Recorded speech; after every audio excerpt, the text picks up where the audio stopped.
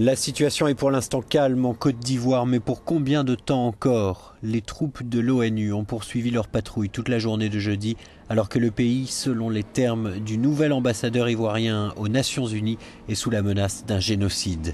Le président sortant, Laurent Gbagbo, refuse toujours de céder sa place de président à Alassane Ouattara, malgré les pressions de la communauté internationale.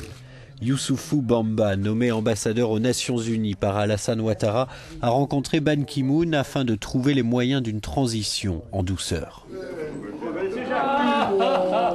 Et dans un geste qui tranche avec la position des États-Unis, de l'Union européenne et de la communauté économique des États d'Afrique de l'Ouest, les avocats français Roland Dumas et Jacques Vergès se sont rendus à Abidjan pour soutenir Laurent Gbagbo et dénoncer ce qu'ils appellent une ingérence. consentir des sociétés françaises des accords extrêmement favorables.